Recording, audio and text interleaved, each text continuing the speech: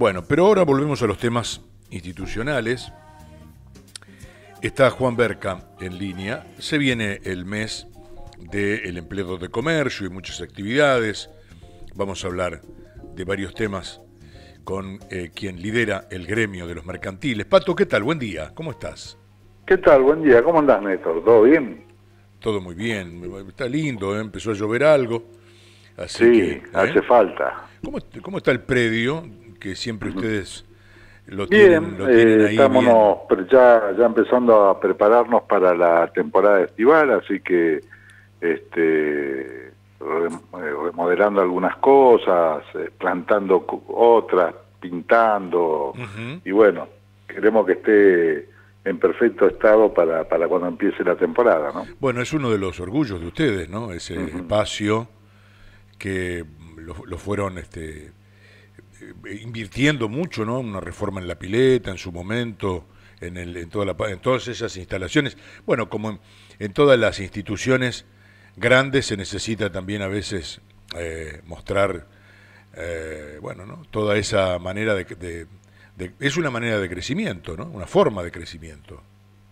Seguro, nosotros este, ponemos mucho hincapié también en, el, tema de la recreación también y para que los afiliados tengan un lugar cómodo para estar, así tenemos un salón de fiesta que, que, lo hemos eh, reconvertido y, modernizado, y después todo el tema de la pileta nueva, con vestuarios nuevos, con zona de, de, son, con zona, zona de reposera este, nueva. Y bueno, y seguimos avanzando en eso para que la gente pueda, eh, después de una jornada laboral o un fin de semana que quiera ir a disfrutar el aire libre, lo pueda hacer en un lugar propio, ¿no? Se puede llegar con una ciclovía ya, ¿no? Sí, sí, ya hay una, una ciclovía ahí. senda ahí, asfaltada, sí. Sí, sí, en, la verdad que han trabajado muy bien tanto la, Municipalidad de Rafaela como la Comuna de Bella Italia en la comunicación de, Rafaela con Bella Italia, ¿no? Sí, sí, claramente. Bueno, ahí estamos viendo imágenes, Pato, de bueno la biblioteca, que es otro de los orgullos. Un orgullo ya que escapa a, a los empleados de comercio, ¿no? Que es de todos los rafaelinos.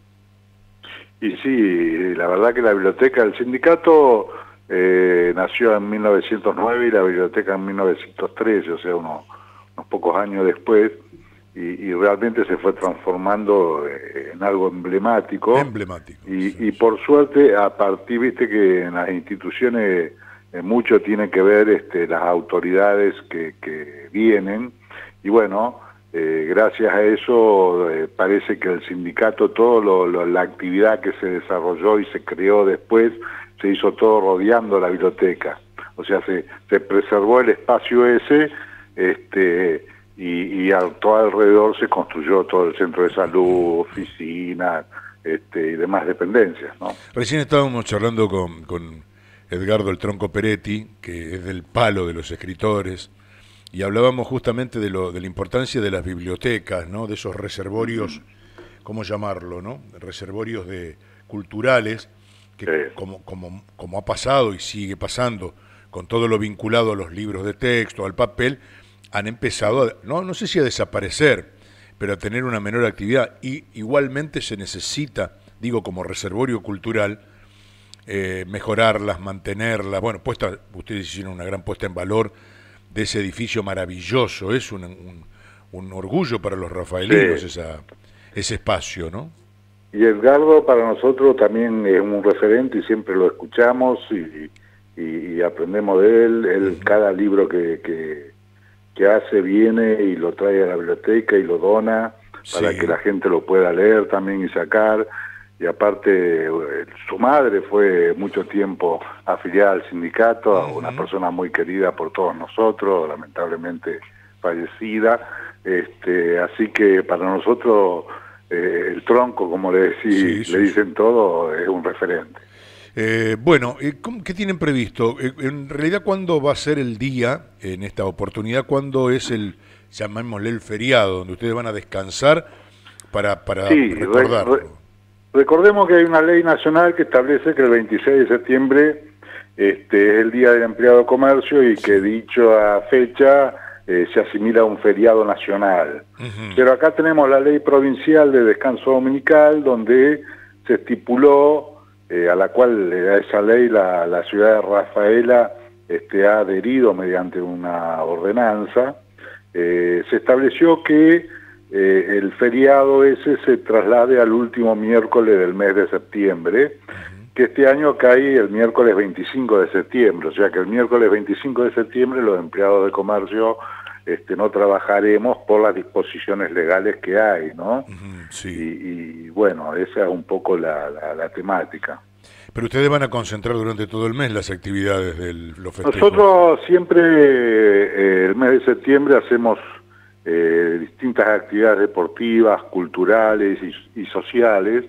Eh, por ejemplo, tenemos ahora el primero de septiembre, tenemos el torneo PAL, después el 6 hay el torneo, un, torneo de truco, el 8 de, septiembre un torneo de fútbol, después hay el 10 empieza el torneo de bochas, el 13 hay un torneo de lobas, eh, y después hay actividad cultural, como sé, el, el, viernes 13 a las 18 va a haber una presentación del libro acá en la Biblioteca Sarmiento, eh, Ruidos en la cocina, recetario familiar de la autora licenciada Alba Esteli.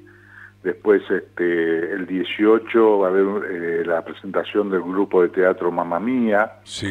Este, todo esto es sin cargo, por supuesto. El 20 del 9, eh, la arquitecta Karina Berna va a presentar un libro Relieve de relato de mi infancia y también el 27 hace un taller de ilustración. Este, y después está el tradicional almuerzo de los jubilados, que hacen un almuerzo y un bingo el 15 de septiembre, este, en el predio allá de Bellitalia.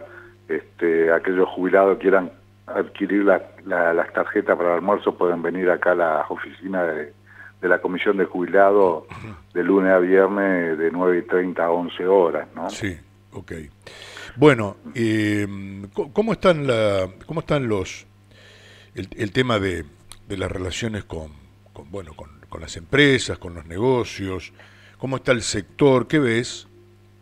Mira, la verdad que el, sector está un poco deprimido en cuanto a las ventas, ¿no? Pero lo que nosotros vemos y, anunciamos en estos momentos es que este, no hay pérdida de puestos de trabajo, al contrario, este, se están manteniendo todos los puestos de trabajo.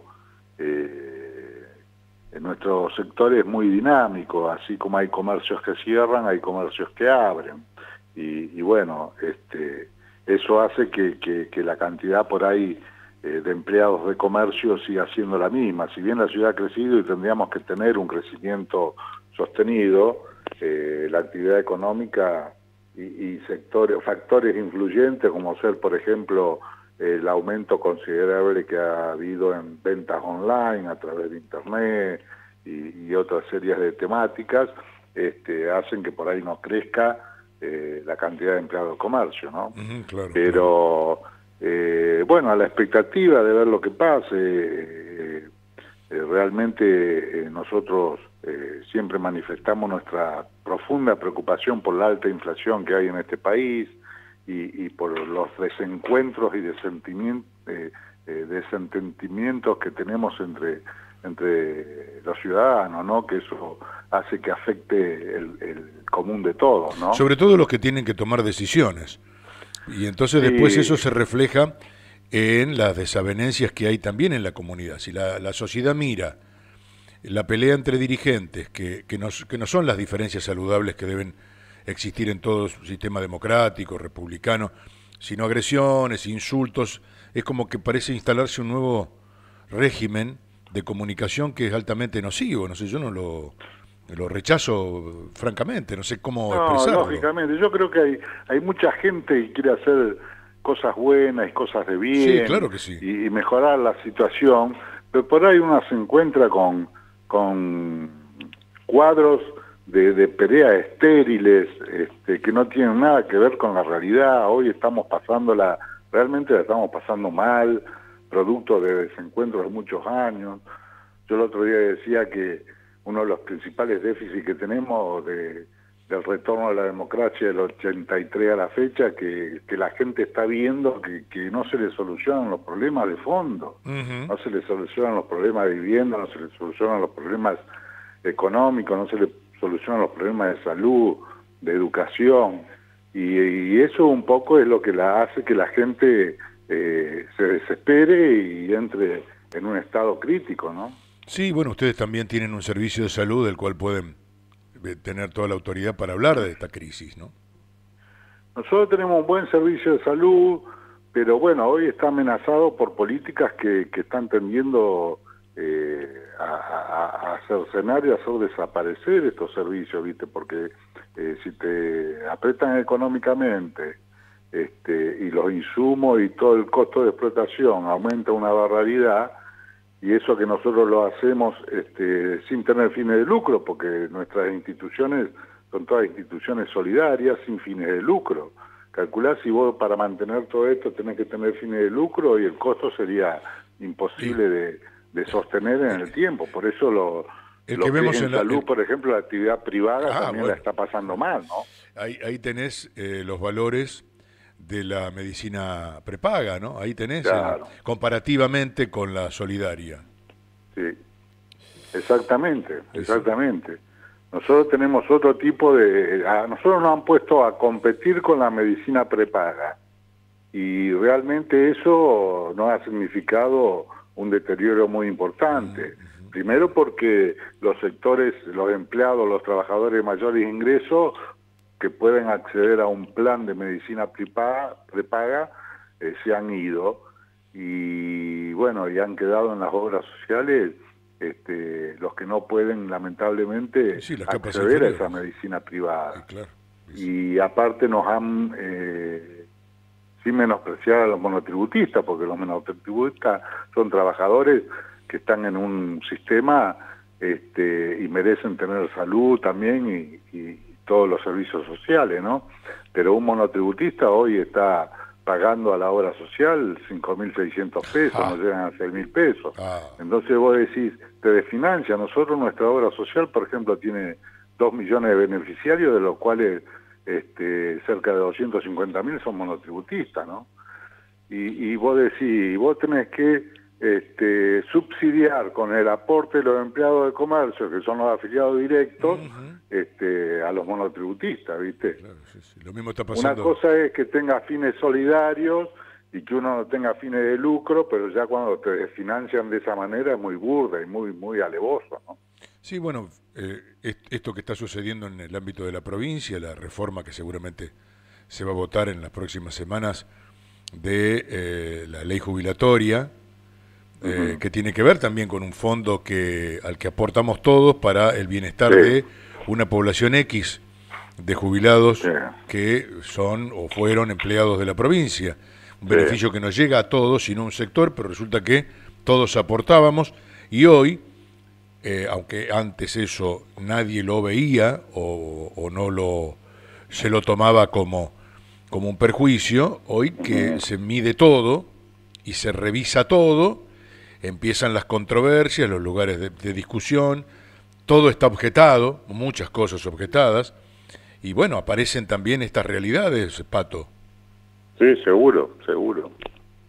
Bueno, pero no empañemos la fiesta de ustedes, ojalá que tengan un buen septiembre. y, de, la, fiesta, bueno, lo que pensamos hacer es, este el domingo 29 de septiembre este, juntando en el predio de Bella Italia con la familia a partir de, la, de las 3 de la tarde para tomar mate este, y bueno, después escuchar música, si da para bailar se bailará y comeremos algo y, y después sortearemos algunos premios que tenemos este, siempre estipulado, hay una moto, hay bicicletas y después hay vales de compra.